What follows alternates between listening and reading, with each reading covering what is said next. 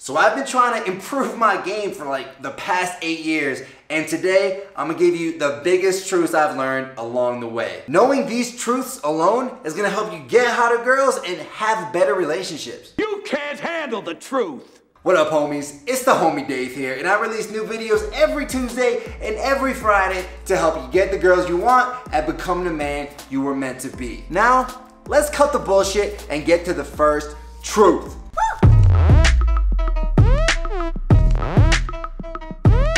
So a few years ago, I was in some random country and it just so happened that my mom's friend's model daughter just happened to be swinging through that country for a couple weeks too. So my mom, being the great wingman that she is, was like, hey, you know Elizabeth is gonna be over there too, right? You guys should totally link up. So I was like, all right, I can dig it. So I meet up with Elizabeth for a drink and we're having a good time, but things are still a little bit platonic. I'm having trouble really like breaking through and creating a sexual conversation. But I got the fundamentals on point, so I keep leading her. You know, we go for a walk after the bar, we end up back at my place and we're having a drink. At this point, I'm thinking about kissing her, but I'm also afraid, like, okay, she hasn't given me a super clear signal she wants it, and if I try to kiss her and she denies me, it's gonna make things super awkward, not just for us, but maybe even for our parents too. So I keep waiting and waiting like I'm in a doctor's office. Then like an hour goes by, but we still haven't kissed yet and we're just chilling on my couch. She says she's tired and she's gonna leave, so I walk her to the door and at that point I'm like,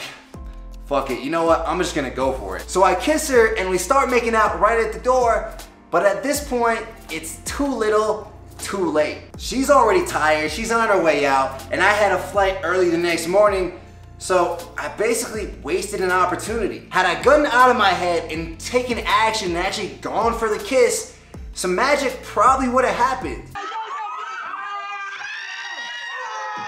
There's so many times where you're in your head thinking, oh man, should I kiss this girl? Or you see the girl over there, think, oh, should I approach her? She's cute, but I don't know. If you just shut up and do it, you're gonna get a better result than if you just keep thinking about it. Either she gonna kiss you back and the sparks are gonna fly like the 4th of July.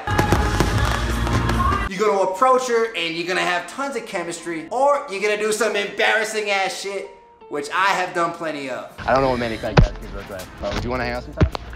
Uh, no thank you. And either way, you're gonna learn and give yourself a chance. One benchmark you can use is if you're afraid to do something, it probably means you should do it.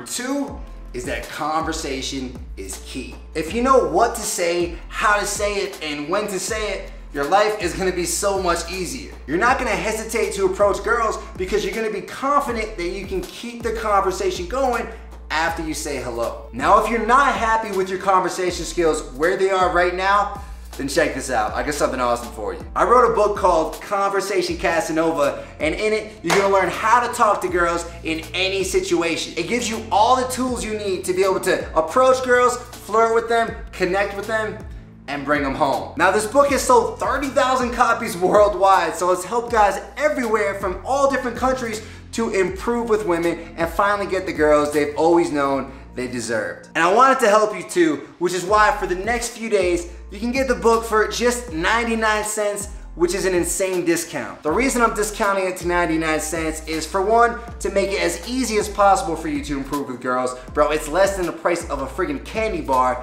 And for two, because when it's priced lower, more people can get it. The ranking stays high on Amazon and the message can continue to spread around the world. But the discount is only gonna last a few days before it goes back to its regular price. So if you wanna take advantage, make sure to click the link in the description to grab your copy on Amazon.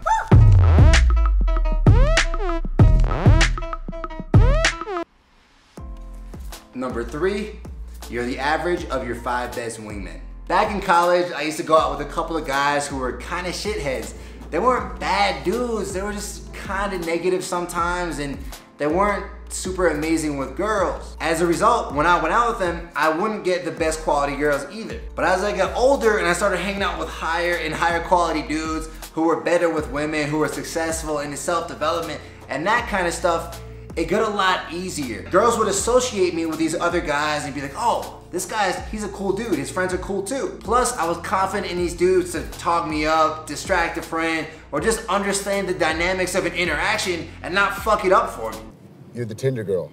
He's been killing it on Tinder. We met at a baseball game. Are we talking about the same Christian? The fact is, man, the better the dudes you hang out with, the higher the quality of girls you're gonna be able to attract. So stop hanging out with shitheads.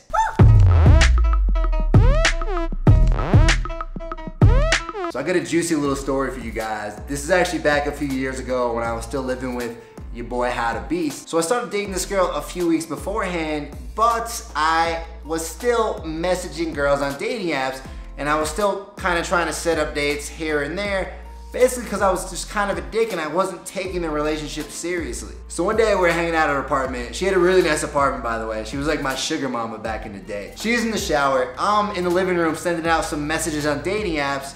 Then she gets out and I go to the bathroom to get in the shower, but I leave my phone outside. I come out, you know, five or 10 minutes later looking fresh to death, and all of a sudden, this girl's acting kind of weird. Catch me outside, how about that? I'll never forget this. She looked at me and said, Dave, why don't you look at your phone? Of course, there were like three messages from Tinder that popped up on there, and she had read all of them. She caught me in the act, and I felt like a complete piece of shit. I still remember hitting up How to Beast for advice, being like, yo bro, what do I do? I'm so fucked right now. Eventually I realized I need to stop doing this, and if I get into a relationship, I gotta take it seriously. Now I'm dating a Yuki, and the idea of cheating never even crosses my mind, because we're trying to build something together, and why would I wanna go have sex with some random girl to jeopardize all that we're trying to build? Plus, she a fiery Latina girl, she probably chop me up and put me in a taco. But yeah, overall, I'd say two of the biggest things I've learned is that number one, cheating isn't worth it because of all the mayhem it creates in your life. Like you have to basically tell all these lies and live a double life. And number two, it just destroys your integrity and that's really all you have as a man. If you can't trust your own word, if people can't trust your own word, then what do you have? Now I don't know about you, but that's not the kind of man I wanna be anymore. So yeah, don't cheat, and if you feel like you really want to cheat, then just break up with your girl because you clearly don't value the relationship.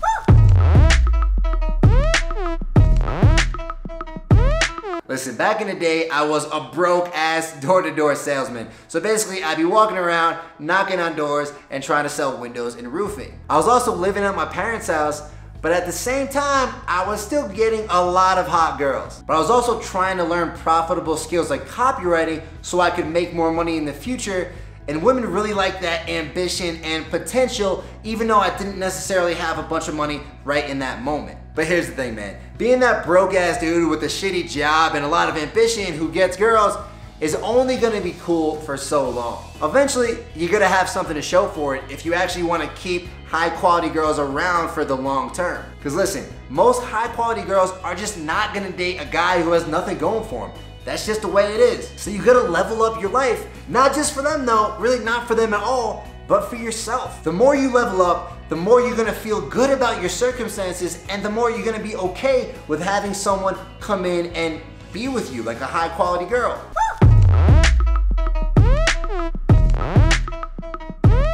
Listen, man, so much of your success with game and your success with women comes down to what you believe about yourself and what you believe you deserve in life. If you believe you're not attractive enough to get the hottest girls, then that's what's gonna happen. If you believe other guys are better than you, that's the way it's gonna be. But if instead you adopt empowering beliefs, like one really empowering belief is assuming girls are attracted to you until proven otherwise, that's gonna change everything. Think about it. You go up to a girl thinking, oh, I'm just a piece of shit. She's not gonna be into me.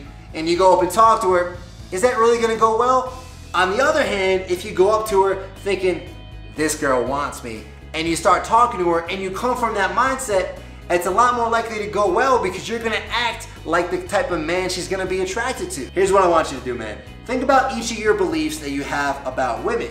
Then ask yourself, is this belief helping me or is it hurting me? If it's not helping you, then see if you can write down a different belief that would empower you and start trying to focus on that instead. I can't stress how important this is, man. For example, every time I'm walking into a bar or club, I come from the mindset like every girl in here is checking me out. The result is a lot of girls check me out and shit goes pretty well.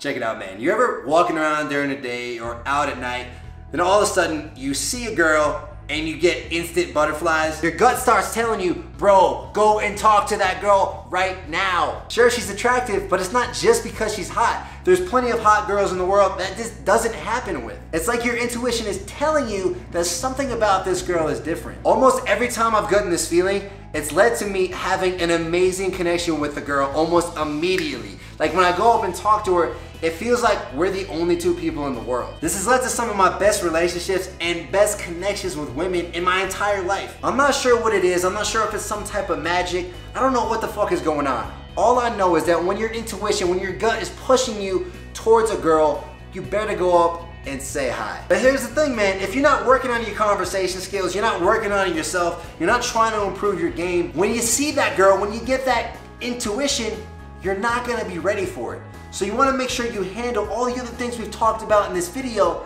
because they're gonna prepare you for that magical moment. All right, guys, these have been the biggest dating truths I've learned over the last few years. Now don't forget, you can grab my best-selling book, Conversation Casanova, for just 99 cents for the next few days. Just click the link in the description to grab your copy. And bro, I will talk to you in the next video. Peace.